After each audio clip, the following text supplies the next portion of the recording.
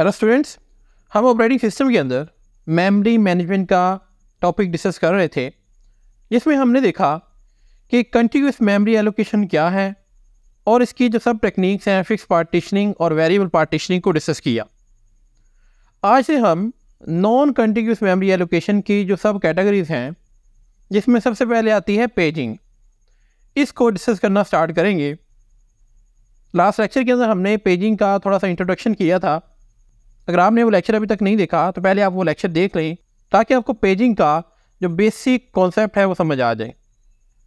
Otherwise हम इस lecture के अंदर पेजिंग के कॉन्सेप्ट को डिटेल के अंदर डिस्कस करेंगे। तो चलिए स्टार्ट करते हैं। पेजिंग क्या है? लेट्स सपोज़ आपके पास ये आपकी मेन मेमोरी है, और आपके पास ये सीपीयू है। जब भी सीपीयू मेन मेमोरी को किसी डाटे की रिक्वेस्ट करता है तो मेन मेमोरी रिस्पॉन्स के अंदर जो डाटा सीपीयू को प्रोवाइड करती है, वो बाइट की फॉर्म में होता है। इसलिए हम कहते हैं कि जो मेन मेमोरी होती है, वो बाइट एड्रेसेबल होती है। यानी कि हम हमेशा इसकी स्पेस को बाइट्स की फॉर्म में रिप्रेजेंट करते हैं। इसलिए हम यहाँ पर मेन मेमोरी की जो साइज़ है, उसको बाइट्स में रिप्रेजेंट करेंगे। सपोज़ करें मेन मेमोरी का जो साइज़ है, वो है 16 बाइट्स अब पेजिंग का कॉन्सेप्ट ये कहता है कि हमने अपनी इस मेन मेमोरी को छोटे छोटे इक्वल पार्ट्स में डिवाइड कर देना है। लाइक ये हमने इसको डिफरेंट ब्लॉक्स में डिवाइड कर दिया है। अब यहाँ पर ये जो एक ब्लॉक बना है, इस ब्लॉक को हम कहते हैं फ्रेम इंपॉर्टेंट कॉन्सेप्ट आपने याद रखना है कि मेन मेमोरी को जो पार्ट्स में हम डिवाइड करते हैं बेसिकली हम उसको फ्रेम्स में डिवाइड करते हैं। और ये तमाम फ्रेम्स का जो साइज़ होगा, वो इक्वल होगा। अब सपोज़ करें कि हमने इस फ्रेम का जो साइज़ है, वो रखा है टू बाइट, यानी कि एक फ्रेम हमने टू बाइट का रखा है। तो आपकी मेन मेमोरी के अंदर टोटल नंबर ऑफ़ फ्रेम्स कितने होंगे? तो total number of frames calculate करने के लिए हम क्या करेंगे? हम अपनी इस टोटल मेमोरी को, यानी कि 16 बाइट्स को डिवाइड कर देंगे अपने फ्रेम के साइज़ के साथ। तो 16 बाइट्स को जब टू पे डिवाइड करेंगे तो आपके पास बन जाएँगे एट फ्रेम्स यानी कि अगर हम हर फ्रेम का साइज़ टू बाइट रखें तो आपकी मेन मेमोरी के अंदर टोटल नंबर ऑफ़ फ्रेम्स होंगे एट यानी कि ज़ीरो से लेकर सेवन तक। याद रहे कि कंप्यूटर के अंदर हम बाइनरी नंबर्स की बात करते हैं, और बाइनरी नंबर्स हमेशा ज़ीरो से हम स्टार्ट करते हैं। इसलिए ये ज़ीरो से सेवन तक टोटल एट फ्रेम्स बनेंगे।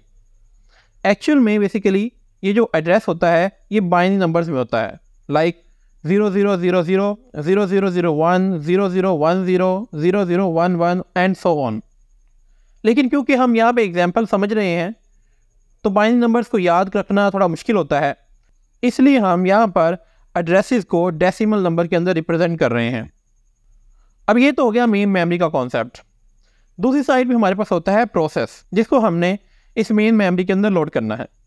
फोर इस प्रोसेस का जो साइज़ है, वो है फोर बाइट्स अब पेजिंग का कॉन्सेप्ट कहता है कि हमने इस प्रोसेस को भी ब्लॉक्स में डिवाइड कर देना है।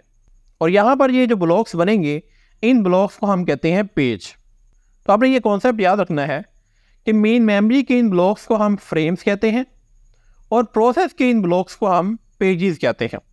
अब यहाँ पर एक और कॉन्सेप्ट बहुत ही इंपॉर्टेंट है। पेजी का कॉन्सेप्ट कहता है कि जो पेज का साइज़ है, वो फ्रेम के साइज़ के इक्वल होना चाहिए। कि हमने ये मेन मेमोरी के अंदर फ्रेम्स बनाए हैं, इनका हमने साइज़ क्या रखा? टू बाइट तो यहाँ पर जो हम पेजेस बनाएँगे प्रोसेस के अंदर, इनका साइज़ भी क्या होना चाहिए? टू बाइट ही होना चाहिए। ऐसा क्यों?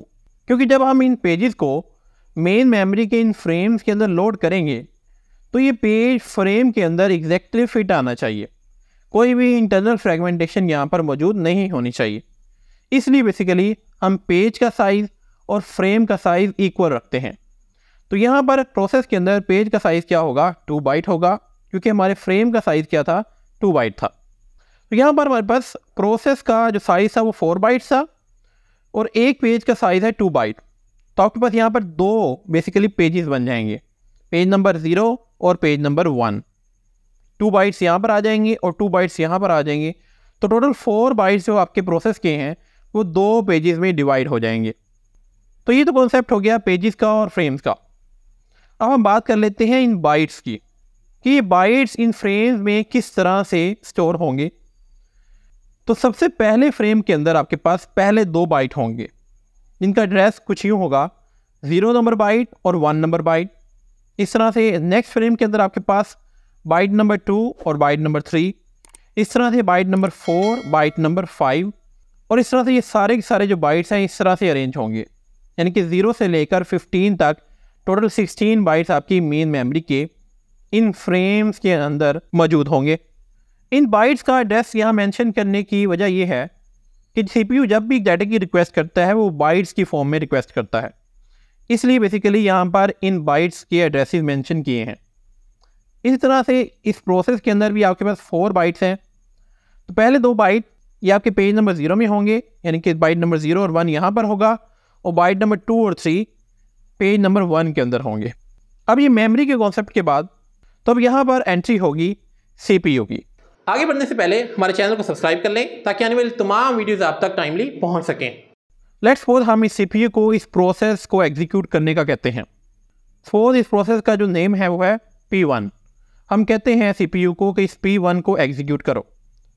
तो P1 को एग्जीक्यूट करने के लिए ज़रूरी है कि ये P1 प्रोसेस है, ये मेन मेमोरी के अंदर मौजूद हो। तो पहले इस प्रोसेस को हमें इस मेन मेमोरी के अंदर लोड करना पड़ेगा, तभी सीपीयू इस प्रोसेस को एग्जीक्यूट कर सकता है। तो इसको लोड करते हैं। अब यहाँ पर सपोज़ करें कि मेन मेमोरी के अंदर ये जो कुछ प्लेसेस हैं, ये ऑलरेडी फिल हैं। यानी कि ये पहले दो frames frame number three frame number five यहाँ पर ऑलरेडी कोई दूसरा प्रोसेस या कोई डाटा पड़ा है। अब हम इस पी वन को लोड करते हैं। तो ये पहला पेज पेज नंबर ज़ीरो हम फॉर एग्ज़ाम्पल लोड करते हैं इस फ्रेम नंबर टू के अंदर, यहाँ पर। और इस प्रोसेस का ये दूसरा पेज है, यानी कि पेज नंबर वन इसको हम लोड कर देते हैं इस फ्रेम नंबर फोर के अंदर। तो अब ये process P one totally main memory के अंदर लोड हो चुका है। अब C P U basically main memory के साथ कनेक्ट होगा और पी वन के रेलिवेंट जो भी इसे डाटा चाहिए, वो इस मेन मेमोरी से रिक्वेस्ट करेगा। सपोज़ करें सी पी यू कहता है कि मुझे इस प्रोसेस का ये जो बाइट नंबर टू है, वो चाहिए।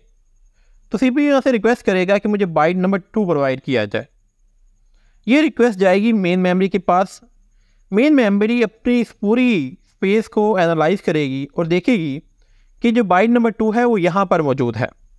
और यहाँ पर मौजूद डाटे को सीपीयू को रिटर्न कर देगी। लेकिन अगर आप यहाँ पर गौर से देखें कि ये बाइट नंबर टू हमारे इस प्रोसेस पी वन का है? नहीं। यहाँ पर हमारे पास प्रॉब्लम आ चुकी है। प्रॉब्लम ये है कि सीपीयू ने जिस बाइट नंबर टू की रिक्वेस्ट की थी, वो बाइट नंबर टू हमारी मेन मेमोरी के अंदर इस जगह पर नहीं है। बल्कि अगर आप इस डायग्राम को गौर से देखें तो हमने जो पेज नंबर वन है, इसको लोड किया था इस फ्रेम नंबर फोर के अंदर। तो ये जो टू है, ये बेसिकली इस बाइट नंबर एट के अंदर मौजूद होगा।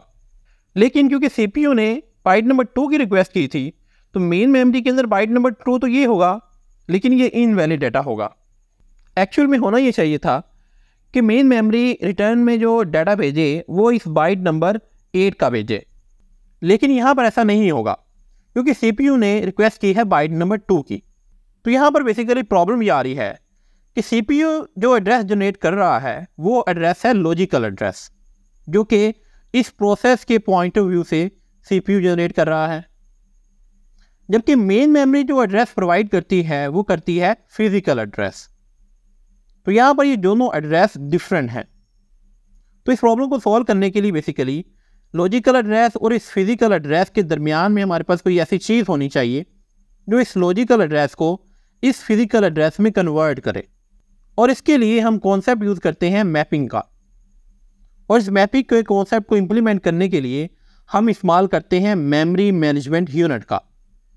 मेमोरी मैनेजमेंट यूनिट बेसिकली इस लॉजिकल एड्रेस को इस फ़िज़िकल एड्रेस में कन्वर्ट करती है, जिससे आपकी जो प्रॉब्लम है ये सॉल्व हो जाती है। अब मेमोरी मैनेजमेंट यूनिट बेसिकली क्या करता है? मेमोरी मैनेजमेंट यूनिट बेसिकली एक पेज टेबल मेंटेन करता है। कंप्यूटर के अंदर जितने भी प्रोसेस चल रहे होते हैं, हर प्रोसेस का एक पेज टेबल बनाया जाता है।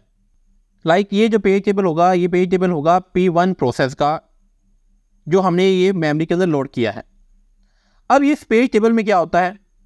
इस पेज टेबल में जितने भी आपके प्रोसेस के पेजेस होते हैं, उनका एड्रेस होता है। और उसके कोरेस्पोंडिंग हमने वो पेज किस फ्रेम में लोड किया है, वो हम यहाँ पर मेंशन करते हैं। लाइक अगर आप देखें, ये पेज नंबर ज़ीरो हमने मेन मेमोरी के अंदर कहाँ पे लोड किया था? इस फ्रेम नंबर टू के अंदर। तो आपके पेज टेबल के अंदर इस ज़ीरो के कोरेस्पोंडिंग क्या होगा? F two frame number two इसके लिए यहाँ पर इसका एड्रेस होगा। इस तरह से पेज नंबर वन हमने कहाँ पर लोड किया था? इस फ्रेम नंबर फोर के अंदर। तो यहाँ पर क्या होगा? एफ़ फोर यानी कि फ्रेम नंबर फोर का एड्रेस तो इस पेज टेबल की मदद से बेसिकली मेमोरी मैनेजमेंट यूनिट इस लॉजिकल एड्रेस को फ़िज़िकल एड्रेस में कन्वर्ट करता है। किस तरह से? वो भी अभी हम समझते हैं। अब सी ने रिक्वेस्ट की थी बाइक नंबर टू की। तो टू को हम बाइनरी नंबर के अंदर किस तरह से रिप्रेजेंट करते हैं? टू का बाइनरी नंबर होता है वन और ज़ीरो अब ये जो बाइनरी नंबर है, इसमें से कुछ बीट्स पेज नंबर को रिप्रेजेंट करते हैं और कुछ बीट्स पेज ऑफसेट को रिप्रेजेंट करते हैं। यहाँ पर हमारे एग्ज़ाम्पल के अंदर ये जो लेफ़्ट साइड वाला बिट है, ये पेज नंबर को रिप्रेजेंट करता है और ये जो राइट right साइड वाला बिट है, ये पेज ऑफसेट को रिप्रेजेंट करता है। किस तरह से देखें, ये हमारे मेमोरी मैनेजमेंट यूनिट को बताता है कि आपने जाना है पेज नंबर वन के अंदर। तो पेज टेबल के अंदर, पेज नंबर वन हमारे पास ये है पेज नंबर वन बता रहा है कि हमने पेज नंबर वन को लोड किया था फ्रेम नंबर फोर के अंदर। तो यहाँ से हमें पता चल गया कि हमारा जो रिक्वायर्ड बाइट है, वो इस फ्रेम नंबर फोर के अंदर है। अब फ्रेम नंबर फोर के अंदर हमारे पास दो बाइट्स हैं बाइट नंबर एट और बाइट नंबर नाइन इन दोनों में से कौन सा बाइट सी को चाहिए, ये हमें बताता है पेज ऑफसेट पेज ऑफसेट कह रहा है कि जिस बाइट का ऑफसेट ज़ीरो है, वो सी को प्रोवाइड कर दो। तो यहाँ पर ये जो पहला बाइट होगा बाइट नंबर एट इसका ऑफसेट होगा ज़ीरो और ये नेक्स्ट बाइट होगा, इसका ऑफसेट होगा वन तो हमारे पास क्या है? ज़ीरो यानी कि मेमोरी मैनेजमेंट यूनिट को पता चल जाएगा कि उसको बाइट नंबर एट चाहिए। तो इस तरह से बेसिकली मेमोरी मैनेजमेंट यूनिट इस बाइनरी नंबर की मदद से ये फाइंड कर लेगा कि सीपीयू कौन से बाइट की डिमांड कर रहा है। सीपीयू ने रिक्वेस्ट की बाइट नंबर टू की मेमोरी मैनेजमेंट यूनिट ने इसके बाइनरी नंबर से फाइंड कर लिया इसका फ़िज़िकल एड्रेस और ये फ़िज़िकल एड्रेस वो भेज देगा आगे मेन मेमोरी को। Main memory simply byte number eight पर जाएगी। इस बाइट नंबर एट में जो भी डाटा होगा वो यहाँ से सेंड कर देगी सीपीयू को। और इस तरह से बेसिकली आपका जो प्रोसेस है सीपीयू एग्जीक्यूट करना स्टार्ट कर देगा। सो so, इस तरह से बेसिकली पेजिंग की टेक्निक वर्क करती है जिसमें हम अपने प्रोसेस को पेजेस में डिवाइड कर देते हैं अपनी मेन मेमोरी को फ्रेम्स में डिवाइड कर देते हैं और इन पेजेस को हम इन फ्रेम्स में लोड करते हैं। सो आई होप आपको आज का जो कॉन्सेप्ट है पेजिंग का, वो क्लियर हो गया होगा। नेक्स्ट लेक्चर के अंदर हम एक और एग्ज़ाम्पल को डिस्कस करेंगे, जिसमें हम मज़ीद डिटेल के अंदर इस लॉजिकल एड्रेस और इस फ़िज़िकल एड्रेस के कॉन्सेप्ट को समझने की कोशिश करेंगे। अगर आपको इस लेक्चर के अंदर कोई प्रॉब्लम है तो आप इस लेक्चर को दो से तीन दफ़ा रिपीट करके देखें। आई होप आपको लेक्चर क्लियर हो जाएगा। फिर भी अगर कोई क्वेश्चन है तो आप कमेंट सेक्शन के अंदर पूछ सकते हैं। आज के लिए इतना ही। मिलते हैं नेक्स्ट लेक्चर के अंदर। Thank you very much